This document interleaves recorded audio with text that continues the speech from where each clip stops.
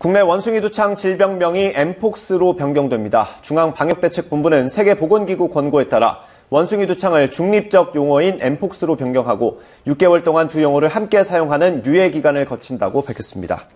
앞서 세계보건기구는 지난달 원숭이 두창이 특정 집단과 인종, 지역에 대한 차별과 낙인적 용어로 사용되고 있는 상황을 고려해서 엠폭스로 질병명 변경을 권고했고 1년 동안 기존 명칭과 병용한다고 발표했습니다.